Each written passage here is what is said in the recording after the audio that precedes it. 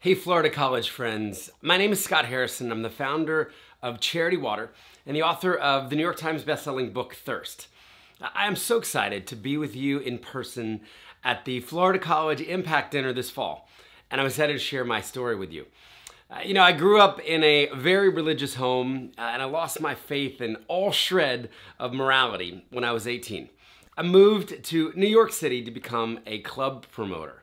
Now, I, rose quickly in the ranks, filling up 40 top nightclubs over the next decade and, and living uh, probably the most hedonistic life one might even be able to imagine.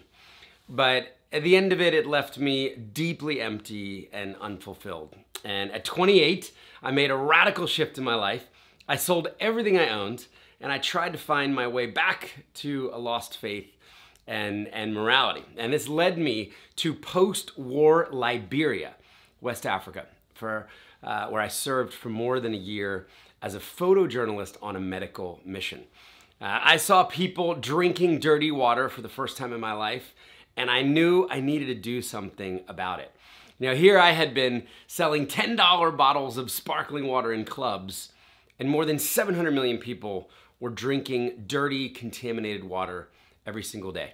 So I came home at 30 years old, I started Charity Water, and 17 years later, we have built a movement of millions of supporters around the world.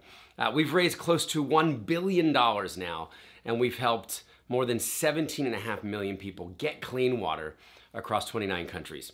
Uh, I'm so excited to share more than 150 of my photos and videos with you when I visit, and I hope you'll be inspired by the work and the mission. So I'll see you very soon.